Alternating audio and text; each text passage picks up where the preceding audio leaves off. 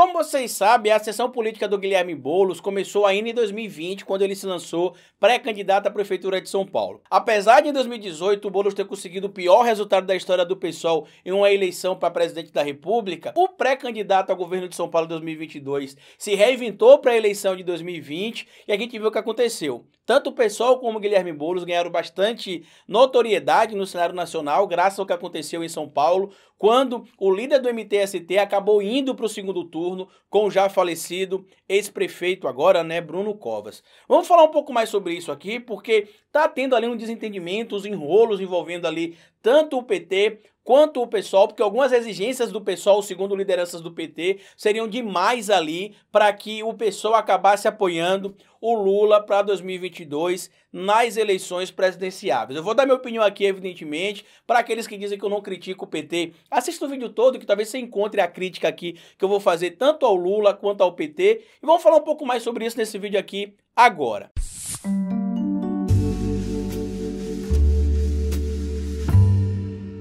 Pois bem, meus amigos, antes de seguir esse vídeo, eu queria pedir que você deixasse like no começo do vídeo, porque se deixar lá pro final você esquece. E se puder, comenta aqui o que você achou desse vídeo, dessa articulação política aí que tá acontecendo envolvendo o PSOL e o PT, porque tem gerado aí, inclusive, alguns atritos de bastidores entre lideranças de um partido e do outro. Vamos falar um pouco mais sobre essa questão do PSOL apoiar em 2022 o Lula para presidente da República e esse apoio do Boulos ser fundamental. O problema é que a gente sabe que apesar da ascensão política que o Guilherme Boulos teve em 2020, em especial por conta de se reinventar, de entender como é que utiliza as redes sociais, falar diretamente com o público jovem, ou até mesmo desconstruindo aquelas informações mentirosas que eram disseminadas em relação a ele em portais, em canais de TV, inclusive, e nas redes sociais, o Guilherme Boulos passou a ser, evidentemente, uma figura importante dentro do debate político da esquerda e dentro do próprio PSOL. Isso, evidentemente, gerou ali um certo desconforto por parte de lideranças da esquerda petista, já que a gente sabe que durante muito tempo se cogitou basicamente o um antagonismo em São Paulo entre PT e PSDB, e esse antagonismo foi rompido na eleição de 2020, quando no segundo turno a gente não teve um candidato do PT para a prefeitura da maior capital do nosso país, e sim um candidato do PSOL que foi o Guilherme Boulos, que apesar de ter tido uma quantia financeira muito menor que o seu concorrente, o falecido Bruno Covas para a eleição, conseguiu utilizar, evidentemente, uma corrente nas redes sociais de pessoas que acreditavam no seu trabalho para poder crescer e surpreendeu muita gente inclusive por causa do trabalho de 2020. O problema é que com essa ascensão de 2020, como eu já disse para vocês, o PT passou a dividir esse protagonismo da esquerda no estado de São Paulo com o pessoal, em especial com a figura do Guilherme Boulos. A gente chegou a ver, inclusive, ali que nos bastidores foi cogitado um apoio do Guilherme Boulos à candidatura do Haddad para governador, com o vice do PSOL, e em contrapartida o PT apoiaria o Guilherme Boulos em 2024 para a Prefeitura de São Paulo, e em troca o PT apoiaria ali o Guilherme Boulos para a Prefeitura de São Paulo em 2024, mas aparentemente não estamos conseguindo encontrar ali um denominador comum entre essas lideranças políticas. E a gente vai tentar explicar aqui o porquê e eu vou dizer o que é que eu discordo do PT e o que é que eu concordo com o Guilherme Boulos. Segundo lideranças políticas mais antigas do PT, o Guilherme Boulos estaria fazendo aí exigências discrepantes ali pelo tamanho que em tese ele teria e o pessoal teria em troca do apoio à candidatura do ex-presidente Lula para 2022 pelo PT. Uma das negociações que estariam acontecendo, segundo pessoas ligadas ao bastidor dessa negociação, é que, em contrapartida, o PT abriria mão da candidatura do governo de São Paulo, na figura hoje do pré-candidato Guilherme Haddad, para apoiar o Guilherme Boulos como candidato da esquerda pelo PSOL para 2022. O problema é que o que essas lideranças mais antigas têm dito é que o que o Guilherme Boulos e o PSOL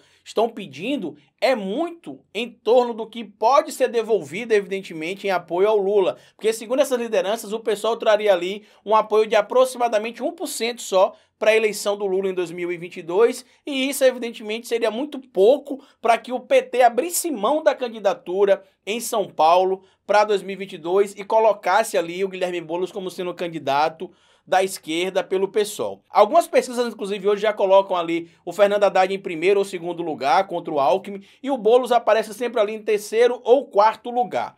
Carlito, qual é a sua opinião sobre essas alianças? Eu tenho de concordar em relação ao PT de que sim, é muito pedir ali para poder o PSOL apoiar o PT, o PT ter de abrir mão da candidatura do governo do estado de São Paulo para o pessoal e para o Guilherme Boulos. E por que, que eu acho que nesse sentido Tá correto aí esse, esse, diálogo entre PT e PSOL? Porque realmente a nível nacional o retorno em votos para o PT seria muito pequeno. Mas em contrapartida, a gente sabe que o Lula precisa de pouquinho aí ainda para, evidentemente, dentro da margem de erro, poder levar a eleição no primeiro turno. Sobre a questão do Estado de São Paulo, eu acredito que essa negociação, que inclusive é uma das que eu apoio, de que o Guilherme Boulos abriria a mão da candidatura para poder o pessoal indicar o nome para o Guilherme Haddad como vice e em 2024 o PT não indicaria candidatos à eleição como pelo menos cabeça de chapa e apoiaria o nome do Guilherme Boulos para a prefeitura de São Paulo é o mais viável. A gente precisa lembrar evidentemente que a bancada de esquerda precisa crescer dentro do Congresso Nacional. E muita gente da esquerda vê no Guilherme Boulos uma figura de renovação. Por conta disso, caso o pré-presidenciável, pré-candidato a governo do estado de São Paulo, acabe decidindo não concorrer a um cargo majoritário e sim concorrer a um cargo proporcional, ele pode contribuir, evidentemente, muito mais com o debate político, pode acabar entrando no Congresso Nacional para poder colocar em pauta alguns projetos importantes, aumentar a bancada também da esquerda, isso é um debate que já tenho falado aqui, em especial a esquerda do pessoal, e dar mais visibilidade ao próprio partido. Em contrapartida, aceitar e exigir o apoio do PT para 2024. O problema, segundo informações que eu tenho de bastidores aqui, é que o Lula não estaria disposto a se comprometer em 2024 com a tirada da candidatura do candidato do PT para apoiar o nome do candidato do PSOL, que em seria o Guilherme Boulos. O que essa velha guarda do PT tem criticado em relação ao Guilherme Boulos é que, em tese, ele estaria obcecado para ocupar um cargo aí majoritário e que, inclusive, seria, segundo esses indivíduos, uma audácia muito grande do Guilherme Boulos concorrer em 2018 à presidência, em 2020 à Prefeitura de São Paulo, em 2022 ao governo do Estado, que seria muita audácia concorrer a três cargos tão importantes em um período de tempo tão curto, em quatro anos. Eu discordo dessa fala aí, evidentemente, do PT. Discordo também de o Lula não querer endossar, pelo menos a informação que eu tenho, o apoio para o Guilherme Boulos em 2022. Porque eu até concordo na possibilidade de o pessoal abrir mão da candidatura em São Paulo para o governo, mas para indicar o vice, que o PT também não endossou, pelo menos a informação que eu tenho, não garantiu essa indicação. E em contrapartida, o Lula também tem sim de afirmar ali que apoia o Guilherme Boulos como pré-candidato para 2024. E eu, sendo Guilherme Boulos, me lançaria candidato a deputado federal. E essa velha guarda do PT disse que foi um absurdo o Guilherme Boulos já se lançar como pré-candidato a governo do estado de São Paulo, que isso teve de fazer com que o PT também antecipasse a pré-candidatura do Haddad, que isso era ruim para o debate público. E na verdade não, isso é uma estratégia do Guilherme Boulos. Ele está certo, ele tem de nesse momento sim tentar barganhar alguma coisa, porque ele teve muito voto em 2020. Apesar do PT alegar aí que é só 1% que o pessoal poderia levar para o Lula em 2022 com esse apoio, o que aconteceu em São Paulo em 2020 não pode ser apagado. O Guilherme Boulos e o pessoal viraram figuras, e agremiação, no caso, né, especificamente do pessoal, importantes no debate da esquerda e não dá para apagar isso. É evidente também que a figura do ex-presidente Lula, a figura do PT também é muito forte ainda, mas eu acho que sim o PT teria de dar um passo atrás para poder negociar com o Guilherme Boulos. Só para que fique bem claro aqui o que é que eu apoio dessa negociação e o que é que eu critico. Eu apoio a iniciativa do PT em querer que o pessoal apoie o nome do Haddad, porque nesse momento é o nome que lidera as pesquisas, mas também eu não aceito a omissão do PT em não querer se comprometer em colocar como vice-candidato o candidato do PSOL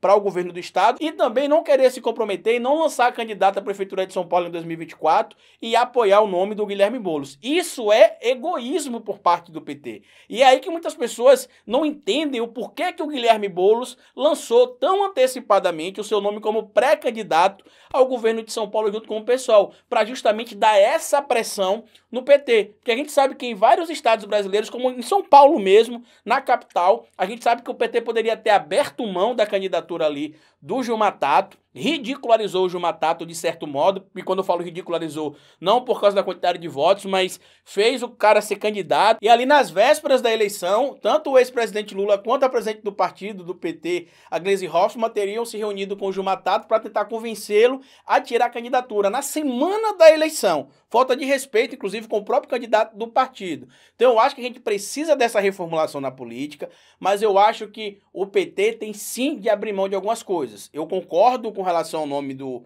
Fernando Haddad, que na pesquisa, inclusive, é o que tem uma melhor performance, que ali bate mais próximo com o Geraldo Alckmin, que tem tido, inclusive, destaque em algumas pesquisas ali, chegando até a aparecer em primeiro lugar em alguns, algumas pesquisas. O Boulos está caindo ali, já chegou a figurar em primeiro e segundo em algumas pesquisas. Hoje figura em quarto, em outras em terceiro. Mas eu acho que o apoio pelo apoio meramente não é algo salutar, não. Eu acho que o PT teria sim de abrir mão da candidatura de 2024 para apoiar o Guilherme Boulos ou o candidato do PSOL. Deveria sim colocar o candidato do PSOL como vice, porque o PSOL performou bem em 2020 em São Paulo na eleição municipal, apesar de eu saber sim que no interior é diferente, que existe ainda uma população que vota em massa no PSDB, mas a gente precisa lembrar que algumas figuras importantes do PSDB, como Serra, não estarão, evidentemente, no debate de 2022 por causa de problemas de saúde, e a gente sabe que o Geraldo Alckmin está de saída do partido para ir para o PSDB. Carlito, o que é que você quer como cenário para 2022?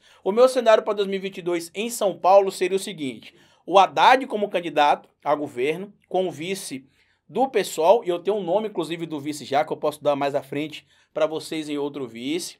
O Guilherme Boulos sendo candidato a deputado federal, pegando experiência no legislativo, calando a boca de todo mundo que diz que é muita pretensão dele, querer ser candidato a presidente, a prefeito, a governador, sem nem ter passado por nenhuma das casas legislativas, nem a municipal, nem a estadual, nem o Congresso Nacional. Levaria também uma bancada de esquerda maior para o Congresso Nacional, aumentaria a bancada do próprio pessoal também e ganharia mais experiência para 2024, quando, na minha opinião, o PT deveria apoiar a candidatura do Guilherme Boulos como cabeça de chapa e, dependendo da negociação, poderia até indicar sim o vice nessa chapa. Mas apoiar o PT em troca de tudo, como está sendo cogitado ali por parte, inclusive, da velha guarda, eu discordo, mas apoio a questão do Guilherme Boulos abrir mão da candidatura a governo de São Paulo em 2022. Como eu disse para vocês, não porque eu ache que o Guilherme Boulos não está pronto ou algo do tipo, mas eu acho que estrategicamente falando para o Guilherme Boulos, que ainda é muito jovem, tem uma carreira política enorme, ele precisa ganhar, evidentemente, mais destaque. Porque se ele estiver lá no Congresso Nacional, ele pode aprovar projetos, ele pode apresentar projetos, ele pode ampliar, evidentemente, o debate político no cenário nacional. Todo mundo sabe o carinho que eu tenho pelo Guilherme Boulos, não é novidade para ninguém. Não acho que ele foi antecipado demais, foi estratégico, eu bato palmas para ele, ele botou uma pressão em cima do PT. E agora vamos ver se o Lula se compromete, né? Porque não adianta ficar pulando, pulando, pulando também, Lula. Porque chega uma hora, meu amigo, que não dá para ficar calado em tudo não. Eu acho que vocês deveriam se manifestar o quanto antes em relação ao Guilherme Boulos, tá bom? Comenta aqui embaixo o que, é que vocês acham disso. Compartilha esse vídeo com outras pessoas. Se inscreva no canal. Ah, antes de encerrar, existe a possibilidade de se não fizer um arranjo ali entre o PT e o PSOL, que o PSOL acabe lançando sim candidato à presidência da República e que esse candidato em tese seria o Glauber Braga. Vamos ver, né? Comenta aqui embaixo, compartilha o vídeo, se inscreva no canal, deixa like. E como eu sempre digo no final do vídeo para vocês, cabeça vazia é oficina para Bolsonaro.